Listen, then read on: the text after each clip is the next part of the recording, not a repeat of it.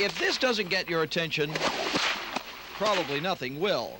But what you're seeing is no ordinary physical display of martial arts. This is an intense demonstration of the intimate connection between mind and body.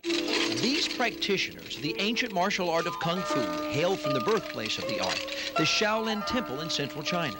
These athletes are some of its disciples, and this man is their leader.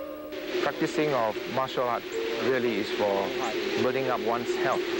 That's the prime importance. This is Abbot Shi Yongxin, the leader of China's Shaolin Temple and master of Kung Fu. This demonstration provides us with only a glimpse of Shaolin Kung Fu, considered by many to be the mother of all martial arts. The abbot wants you to understand that this demonstration is both a performance of the body and of the mind. He said in Shaolin Temple, before you are taught Shaolin Kung Fu, you have to be uh, uh, taught the Buddhism doctrines, and you have to abide by it, and you have to prove yourself first before you're allowed to learn martial arts in Shaolin Temple.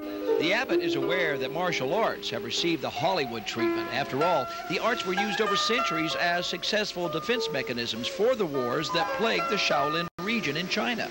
But not so today. Uh, in Shaolin Temple, the main importance of uh, Kung Fu is actually to help them in their meditation and also to help them uh, uh, build up uh, a very healthy body and spirit.